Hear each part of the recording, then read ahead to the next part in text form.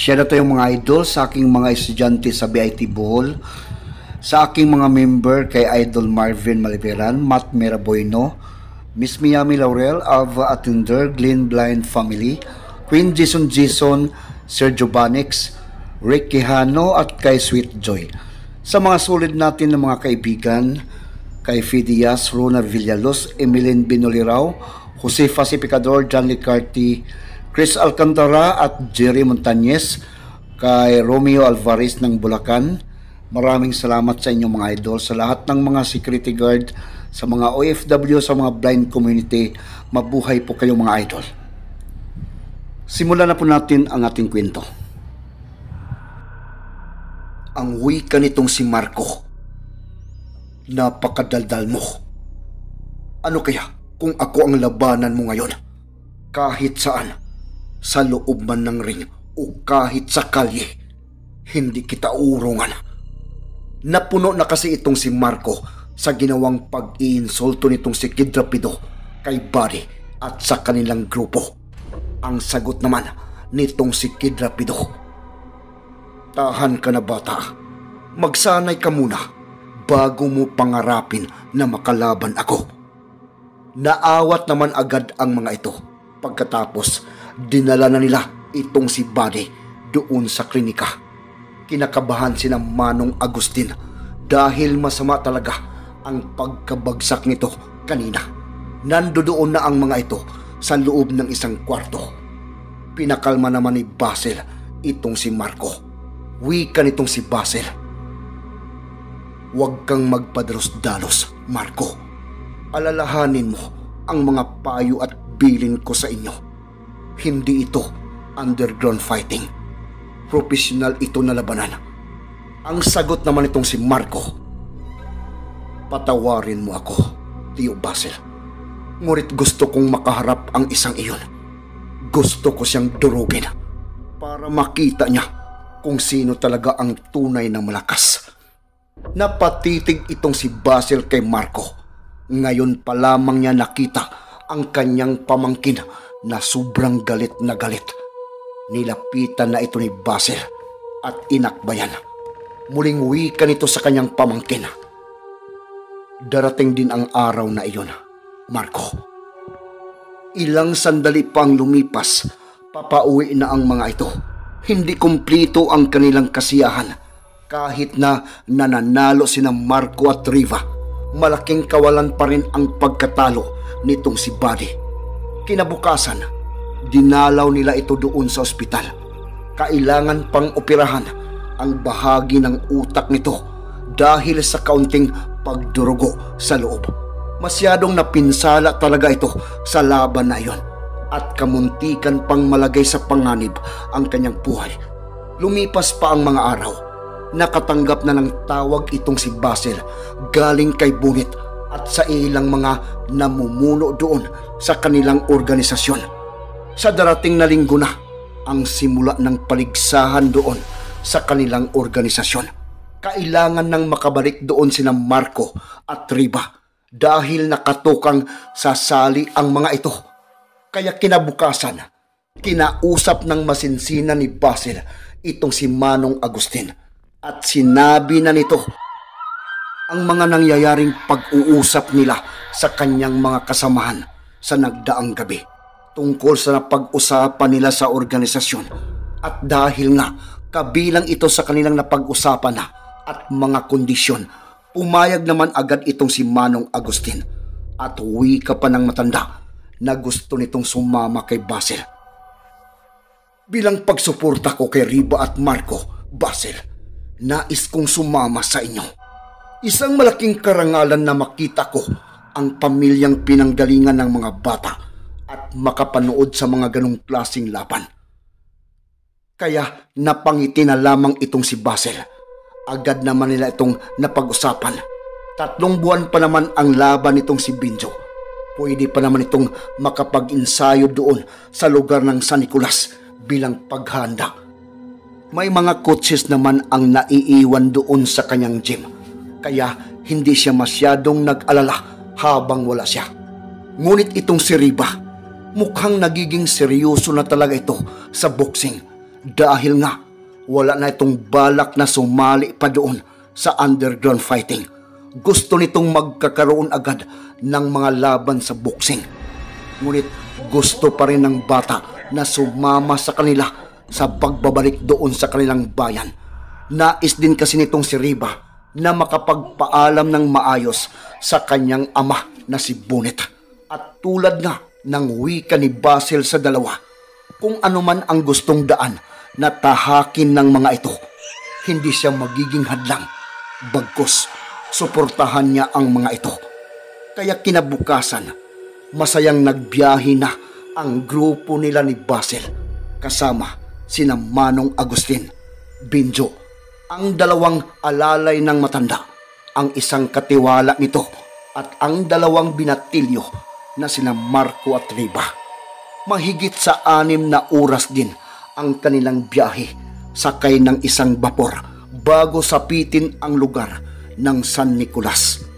Agad naman na namamangha si ng Manong Agustin nang makita ang lugar nila ni Basil. Mas advance kasi ang pamumuhay ng mga tao kumpara doon sa kanilang bayan. Agad na dumiritso ang mga ito doon sa malaking bahay nila ni Basil doon sa lugar ng Kalye 13. Naabutan ng grupo nila sina Manong Gabriel at itong si Bonita. Masayang nagkikwentuhan agad ang mga ito at nagkukumustahan at hindi makapaniwala itong si Bonit na pumasok na pala ang mga bata sa larangan ng boxing. Nang sinabi naman ni Riba ang tungkol sa mga balak nito, walang tutol din itong si Bonit. Nakita niya kasing parang mas masaya ngayon si Riba sa bagong daan na pinasok nito. Alam din niyang hindi ganon kadelikado ang boxing kumpara sa mga street at underground fighting. Wala si Badong doon sa kanilang bahay. Tulad ng dati, masyadong abala ito dahil nga sa maraming inaasikaso lalo na paparating na ang nasabing paligsahan sa araw na iyon Inilibot muna nila ni Basil ang grupo nila ni Manong Agustin doon sa buong lugar ng Kalye 13. Ipinakilala sa lahat ng mga namumuno doon sa kanilang organisasyon at sa lahat ng mga kakilala doon sa kanilang lugar. Malaki ang bahay na ipinatayo nila ni Basil at Badong. Tatlong palapag ang bahay na ito, kaya kasya silang lahat. Magkakasama doon ang pamilya ni Badong, Basil, Bunit at Dr. Maki. Kinahapunan naman, pinuntahan nila ang lugar na pagdadausan ng bakbaka na iyon. Mas lalong namangha itong si Manong Agustin nang makita ang buong lugar. Nakikilala din itong si Manong Agustin ang mga magigiting at maalamat na mga mandirigma tulad nila ni Tata Mac at itong si Tiger kasama ang limang nasa tuktok ng listahan ng organisasyon. Kinagabihan, nang mapag-alaman nitong si Badong at Lala ang pagdating nitong si Marco, agad na ipinatawag ito ng mag-asawa. Sabik na sabik ang dalawa na makita itong si Marco, sina Badong at itong si Lala. Kinausap ito ng masinsina ni Badong. Wika nitong si Badong tulad ni Basil Marco, kung saan ka masaya at kung saan ang gusto mong daan na tahakin. Kayo ni Riba, masaya na ako para sa inyo. Tulad ni Macro, hinayaan ko ang kapatid mo na gawin ang kanyang gusto. Basta tandaan ninyo ito. Kailangan ninyong pag-isipan ng mabuti ang bawat desisyon ninyong gawin. Gawin ninyo ang tama panatalihin ninyo sa iyong puso ang pagkakaroon ng pagmamahal at ang pagtulong sa kapwa. Pagkatapos na makapag-usap ang mga ito, pinulong na din itong si Badong lahat ng kanyang mga pangunahing mga kasama sa organisasyon na iyon. Dahil bukas na, simulan ang paligsahan. Hawak na niya ang listahan ng lahat na kalahok. Dalawa lamang sa mga ito ang kasalukuyang membro ng kanilang organisasyon at lahat ay bago na kaya nakakasabik ang paligsahan na ito. May mga makikitang bago na naman ang lahat ng mga taong manonood. Sampu lahat ang kasali sa bakbakan bukas. Bukas ng umaga, malalaman na nila kung sino-sino ang mga ito. Itong si Badong, wala pa itong kaalam-alam na kasali din itong si Marco sa paligsahan na iyon. Dahil ang mga nakalagay sa kanyang listahan, dahil mga palayaw lamang ang mga ito. Ang pagkakaalam nitong si Badong ay sumabak lamang itong si Marco sa larangan ng boxing. Ngunit sina Bunit at Manong Gabriel, alam na nila ang balak nitong si Basil. Kinabukasan, maagang nagkarga ng mga dasal itong si Marco para sa kanyang mga tangan. Nasa loob ito ng isang kwarto doon sa ikatlong palapag. At makalipas ang ilang mga oras, bumaba na ito at papunta na ang grupo nila doon sa lugar kung saan pagdadausan ng labanan. Kasama ni Marco sina Basil, Riba at ang grupo nila ni Manong Agustin. Nando doon na sa lugar sina Badong at ang lahat ng mga namumuno sa organisasyon. Makalipas naman ang ilang minutong pagbiyahi ng mga ito, narating na nila ang arena.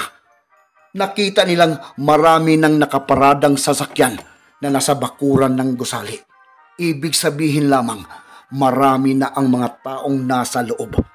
Doon pumasok ang grupo ng mga ito sa may entrance sa may likuran. Tulad ng kanilang inaasahan, pagkapasok ng mga ito, napakaraming tao na rin ang nasa loob. Sabik na ang mga ito sa taunang paligsahan na ito para makahanap ng bagong tatawagin na pinakamalakas sa lahat ng mga baguhan kasalukuyang nagsasalita na ang pinuno ng organisasyon na si Badong doon sa gitna ng luna. Habang sa gilid naman ng luna, nando doon ang mga bibigating mga bisita at ang iilan sa mga pinakamalakas na mga mandirigma. Nando doon din sina Tatamak at Tiger. Pati na rin ang Perez Brothers nando doon din. Makalipas lamang ang ilang sandali, wika nitong si Basil kay Marco. Ito na ang pinapangarap nating dalawa. Marco, ipakita mo sa lahat kung bakit nagiging anak ka ni Badong. Ipakita mo ang iyong lakas. Gugulatin mo ang iyong ama sa mga natutunan mo sa ilang taon natin na pag-iinsayo. Tinawag na ang lahat ng mga kasali at ipinakilala Dalawa nga sa mga ito ay dating mga lumalaban na sa kanilang organisasyon. Ngunit nasa ikatlong hanay pa lamang ang mga ito ng standing. Ang dalawang ito ay ang mga mandrigma na galing sa kabilang lungsod. Ang lungsod ng San Roque, sina Matis at Corpus. Mga mag-aral ito dati ni Tatamak at lumipat nga ang mga ito doon sa kabilang organisasyon na nag-organisa doon sa bayan na iyon ng San Roque. Ang isa sa mga ito ay ang anak ng nakalaban dati ni Badong na si Major Jas. Sa limang mga laban nitong si Mates, hindi pa ito nakatikim ng pagkatalo. Ang dalawa naman sa mga kalahok nang gagaling naman sa ibang bansa at sanay na sa mga labanan ng underground. Kumbaga sanay na ang mga ito sa mga bakbakan sa mga ganitong klaseng labanan. Habang ang iilan naman sa mga ito na natiling pribado ang kanilang pagkakilanlan. Tanging mga palayo na lamang ng mga ito ang nalalaman nila. Ilang minuto pa ang nakalipas, formal nang inaanunsyo ang pagsisimula ng bakbakan na iyon. Gulat na gulat itong si Badong nang makita itong si Marco nakasali doon sa paligsahan. Ngunit kalaunan, napapangiti na lamang ito. Naisip din niya ang kanyang kabataan. Sabi na lamang nito kay Lala, Malaki na talaga ang ating mga anak, Lala. Tingnan mo ngayon si Marco. Dati, ako ang lumalaban sa gitna ng luna. At ngayon, pinapanood ko na ang ating anak Kasama naman nila doon sa grupo ni Basil, sina Maki at ang kapatid na babae ni Marco na si Atina para magsilbing medical aid ni Marco. Unang laban, isang malaking tao na galing pa sa bundok ng Kawil. Ang kabilang bahagi ng bundok ng San Nicolas. Isang dalawampung taong gulang. Ngunit napakasolido na ng pangatawan nito. Mahaba din ang kulot-kulot nitong buhok na kulay pula. Bato-bato na ang katawan at mayroong anim na talampakan at anim na pulgada ang tangkad. Isang matangkad at malaking tao. Nakikilala lamang ito sa pangalan na Kiko.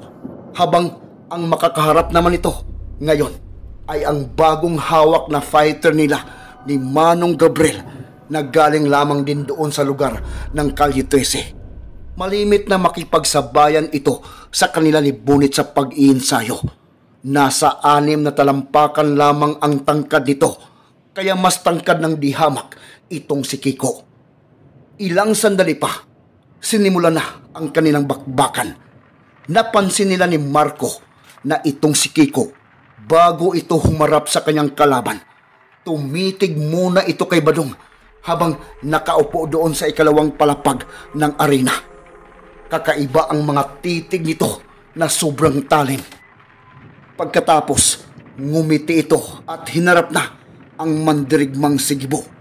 Unang gumawa ng mga pag-atake itong sigibo. Agad itong gumulong papalapit sa kanyang kalaban. At pagkatapos biglang nagpakawala na ito ng dalawang mga pagsipa. Sa isang iglap din, biglang kumilos itong si Kiko ng napakabilis at hinawakan ang liig nitong si Gibo. Napakabilis ng kilos nitong si Kiko na sa isang iglap sabay ng ginawang pag-atake nitong si Gibo. Agad itong umabante. At pagkatapos nang mahawakan na niya ang liig nitong si Gibo, ibinagsak na ito ni Kiko sa luna. Likod ang unang tumama nito kaya ramdam talaga nitong si Gibo ang pananakit ng kanyang buong katawan.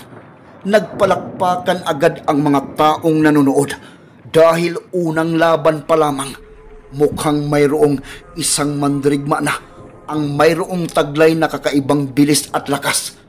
Itong si Kiko, tumayo muli ito habang nakaharap sa namimilipit pa rin na si Gibo. Nakangisi ito at wika nito sa kanyang kalaban. Mukhang ikaw na yata ang una kong mabibiktima, kaibigan. Kung ako sa iyo, huwag ka nang tumayo pa. Dahil sa susunod kong atake, maaaring katapusan na ng iyong buhay. Ngunit sa isip naman itong si Gibo, hindi pwedeng ganun na lamang matatapos ang kanyang pangarap. Kailangan niyang tumayo. Kailangan niyang lumaban. Kahit na sa kanyang tingin, kakaiba ang bilis at lakas ng kanyang kaharap ngayon. Ilang sandali pa, tumayong muli itong si Gibo at humarap na ito kay Kiko at wika din ito sa kanyang kalaban. Huwag mo akong maliitin. Hindi dahil agad mo akong nahuli at napatumba. Matatakot na ako sa ipinakita mo. Muling humanda itong si Gibo at ilang sandali, muling umatake na ito. Gumulong ito papalapit kay Kiko. Ngunit sa mga pagkakataon na ito, dumiritso ng atake ito kay Kiko gamit ang mga pagsipa habang nakatukod ang kanyang dalawang mga kamay sa luna. Napakabilis ng ataking iyon, kaya hindi din ito inaasahan ni Kiko. Kamunti ka na itong tamaan ng apat na mga magkakasunod na mga pag-atake nitong si Gibo. Ngunit sa isang iglap, biglang umabante na naman ito at nagpakawala ng isang malutong na suntok na tumama sa sikmura nitong si Gibo. Sa kabila kasi ng tangkad at laki ng katawan nitong si Kiko, nakakamangha at nakakagulat ang kanyang bilis. Dahil nga nito, hindi na naiwasan pa nitong si Gibo ang mga pag-ataking iyon ni Kiko. Hindi na niya masundan pa sa kanyang mga mata ang sobrang bilis nitong kumilos.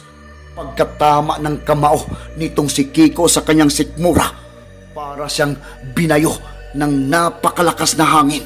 Biglang bumulagta itong sigibo sa luna at hirap na itong makahinga